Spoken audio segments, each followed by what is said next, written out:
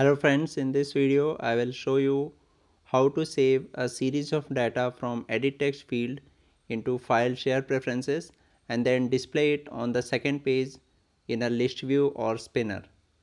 So we will start right now. On the first screen I will just save data from edit text field into file share preferences for that we have to use an edit text field and the button which will act as save button.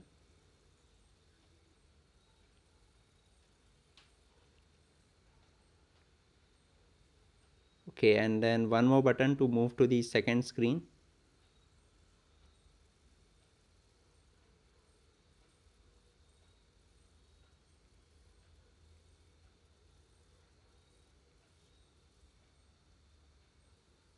fine now let's move to logic area. In logic area we have to add a file share preferences component. After adding this in on create on activity create add a number variable.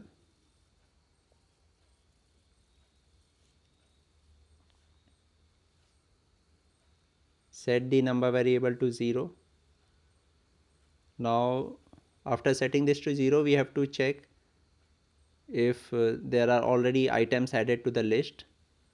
So for that we use forever block and then if else block. Since we will use the number variable as key to save data into file share preferences it will be easy for us to find if the key is empty or not so we will use an equals block here.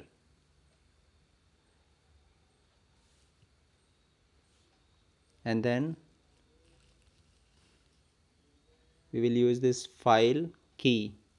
The key will be the number variable. So for using a number variable we will convert it to string and then use the number variable so here the number variable will act as key. So if file key 0 equals empty if it is empty then this forever block will stop. And if it is not empty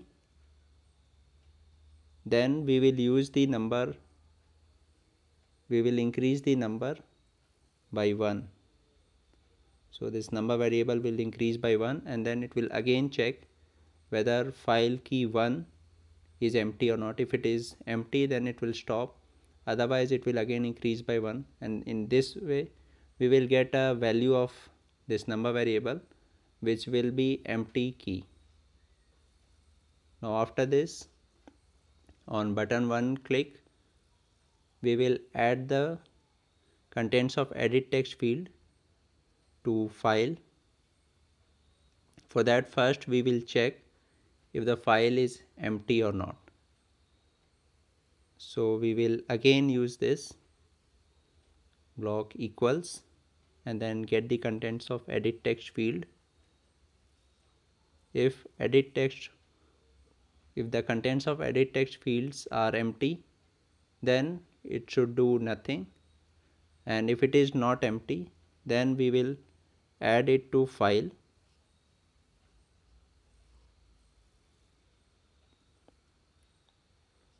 with uh, the number as key. So here we will use this number as key and then set its value as contents of edit text field.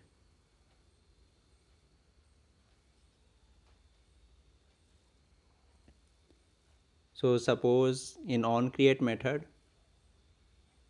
it the forever block stopped at 7 at number 7 so the value of number is will be 7 and then on button 1 click it will set key 7 to contents of edit text field. And after that we have to increase the number by 1 so in this way it will be in this way if we click the button second time it will save the contents of edit text field to a new key now after this on button 2 click we have to move to second page. So here add an intent component. You can name it anything. And then set screen to second page. For that we have to add a second page. So here just add a second page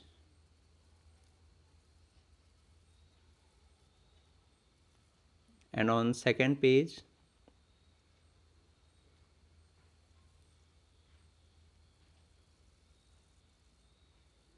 use a list view widget. Now on first page in logic area use intent set screen. And then start activity to move to second page. So on button 2 click we will move to second page. Now on second page we have added a list view. And in order to display contents of file in list view we will add a list string list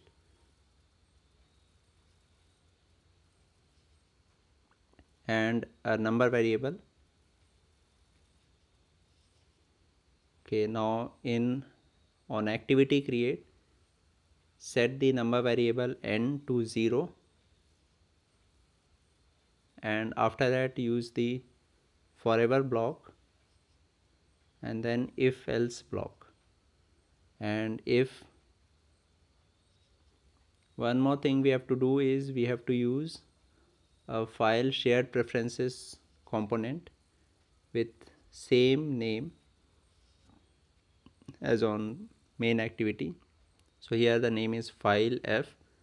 So on second page also we have to name it as file f. Now if we will use the same block equals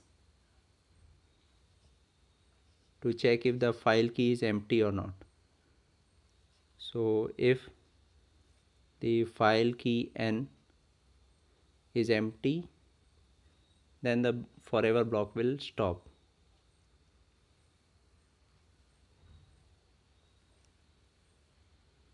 If it is empty then we will stop this. And if it is not empty then we will add this to list. So add this file get data key n to list and after this increase 1 increase the number by 1 so in this way all file keys which have been saved on page 1 will be added to list. Now in order to display the list in list view we will use this block list view set list view data to list and then list view refresh data. That's all. Now let's check our app.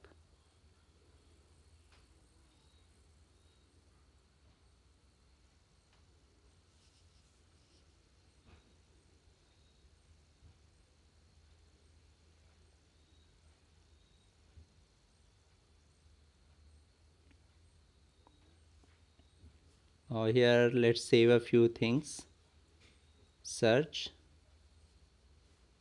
Now second one is apple. Mango.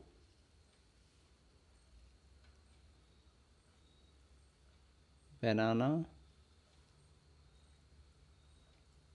Eggs. Chicken so we have saved so many items. Now let's check the second page. Here you can see all these items search apple in the sequence in which we added them. So i hope you understood this. Thank you very much for watching this video